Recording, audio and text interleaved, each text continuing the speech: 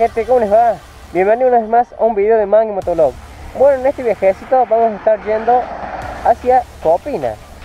Un lugar obviamente turístico para todos los moteros de acá de la provincia de Córdoba O para todos los que quieran venir a conocer Córdoba Así que bueno,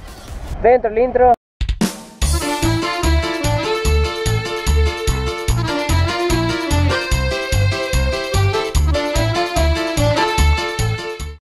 dejamos nuestra huella.